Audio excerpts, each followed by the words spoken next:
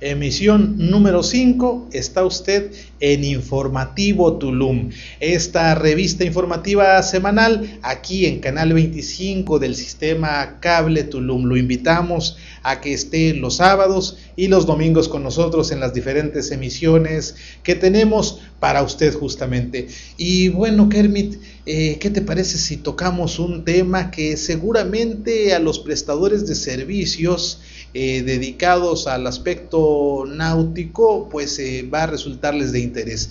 Vamos a platicar un poquito acerca de algunos manejos no muy claros en la dirección de em, ingresos del ayuntamiento de Tulum. Eh, Tú conoces un poco más de eso, Kermit, platícanos un poco. Pues sí, Héctor, pues platicando con los prestadores de servicios, los llamados lancheros que ofrecen pues paseos este, a los arrecifes, los que este, ofrecen pesca deportiva y snorkel.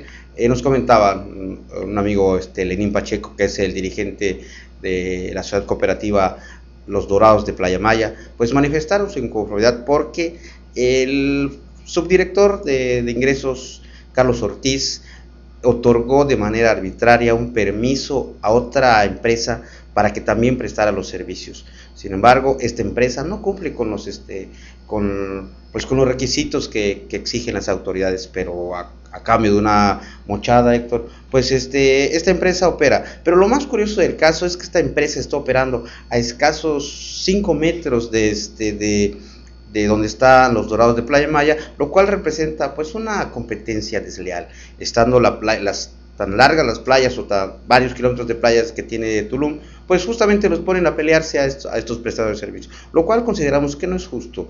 Eh, es necesario que, las autoridades tomen cartas en el asunto y se, se ordene esta actividad, sobre todo cuando Tulum está empezando a crecer y debe haber orden en esta actividad. Yo me voy a permitir recordar un poco que no es la primera situación eh, oscura, la primera situación nebulosa en la función de este eh, ya conocido director de ingresos, el eh, supongo licenciado Carlos Ortiz. Recordarás que también en alguna ocasión eh, se hizo una treta de llevar supuestos menores de edad a un bar de la ciudad para a, través de esta treta pues clausurar este, este bar y exigir una mochada. Es algo ya desafortunadamente, públicamente se conoce, es algo ya común en esta dirección que tiene a su cargo la de fiscalización. Ahora, lo que no se explica es qué hace la dirección de fiscalización y la dirección de ingresos metidos en el aspecto de, playas. Sí, este, pues hemos visto este, la, la, dirección de fiscalización donde está este, Carlos Rodríguez, este, mejor conocido en el medio como el Viruta, pues también este, está es cuestionable su, este, su labor. Siempre está involucrado en cuestiones de extorsión y pues ya hizo la mancuerna con Carlos Ortiz, que los dos trabajan eh, pues en la tesorería. Ellos están trabajando de esa manera para, pues, para obtener recursos, para, pero para su bolsillo, no para para las arcas municipales.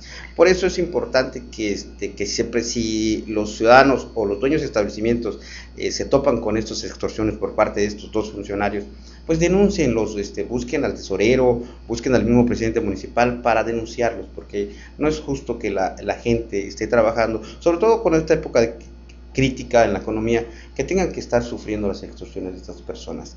Pero, ¿qué les parece si los invitamos a ver dos notas este, relacionadas con este tema? Una elaborada por el compañero Francisco Canul y una por Héctor Valdés, que, este, donde abundan más sobre el tema y para que usted, estimado televidente, haga su propio criterio. Veámosla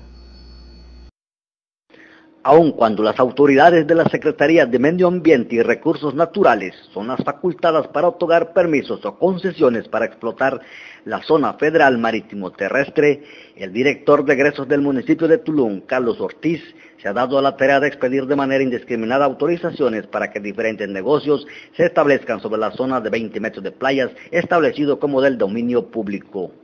Los prestadores de servicios turísticos, como por ejemplo Dorados de Playa Maya, nativos de esta ciudad y con más de 10 años de estar legalmente establecidos en la zona de playas, acusan al cancunense Carlos Ortiz, director de egresos de la comuna, y a su segundo de a bordo, el subdirector de ingresos Carlos Rodríguez Loesa, mejor conocido como el Viruta, de ser los principales responsables de sembrar el desorden sobre la SOFEMAT y es que Carlos Ortiz, recomendado del diputado Filiberto Martínez Méndez, a quien incrustó en la presente administración de Tulum, toda vez que fue uno de sus caprichos, está haciendo de las suyas, pues ha permitido que se establezcan negocios otorgándoles permisos para que operen en plena zona federal marítimo terrestre mientras que su segundo de a bordo, Carlos Rodríguez Loesa, mejor conocido como el Viruta, permite el desorden de igual manera cobrando cuotas para que los prestadores de tours piratas ofrezcan y vendan sus servicios en plena playa a costa de la tranquilidad de los turistas que llegan en busca de estancia tranquila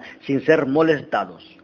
En este sentido, Lenín Pacheco, operador de una casa de buceo, denunció que vendedores ambulantes de paseos turísticos son los que más molestan a los turistas, pues siempre que están tranquilos leyendo o tomando el sol, acostados en la playa, son molestados, lo que deja entrever que el ambulantaje sobre este segmento sigue siendo un foco rojo en las playas de Tulum, solapados e encubiertos por el director de ingresos y su segundo de a bordo, el Viruta. Sin licencia más que verbal, sin pagos a la zona federal marítimo terrestre, sin instructores capacitados, sin apoyo en la limpieza de costa, sin impuestos municipales en forma, pero con el apoyo del actual director de ingresos, Carlos Ortiz, los 32 socios de la cooperativa turística Dorados de Playa Maya deben soportar la competencia desleal que de la noche a la mañana apareció en el mismo sitio donde ellos, desde hace más de 10 años, ofrecen paseos en lancha y guías para snorkeleo, así como clases de buceo. Eh, les comentaba que nosotros tenemos 10 años trabajando aquí en este lugar de la playa, ¿verdad? Entonces eh, hace aproximadamente 3, 4 meses, al llegar un día a trabajar, eh, pues nos encontramos con la gran sorpresa de que había un módulo. Primero estaba aquí en un lado y fuimos a hablar con el señor Carlos Ortiz y él nos dio una respuesta definitiva. O dejan que se queden o los quito a los dos. Así. Entonces se nos hace muy extraño, ¿verdad? Que, que, que, pues que ellos laboren en esta parte porque ya ha habido conflictos. De hecho, hemos llegado a golpes. Eh, pues eh, nos, bajan las tarifas de los precios. No, creo justo esto porque pues nosotros como les decía tenemos 10 años aquí laborando, ¿verdad? Cuando esto apenas era una entradita pública. somos una cooperativa constituida, eh, se pagan impuestos en Hacienda, en Capitanía y pues esperemos que, que haya algún resultado por parte de las, de las autoridades de aquí del Tulum. Entonces, quien les dijo que tenían que estar ahí el señor Carlos Ortiz.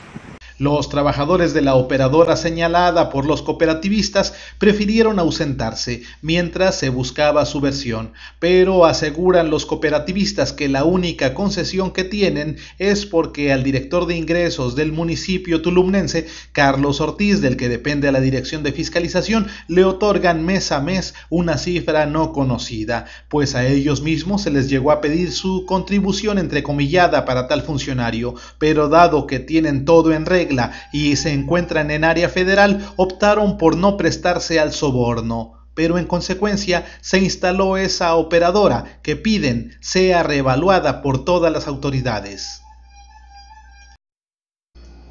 Estimado televidente, continuamos con la quinta información de su revista semanal Informativo Tulum. Esperemos que lo esté disfrutando y ahora le, nos enfocaremos a un asunto muy importante, la credencial del lector los últimos días. Estuvieron aquí funcionarios del Instituto Federal Electoral, quienes este, acudieron para recibir las solicitudes de los ciudadanos para obtener este importante documento.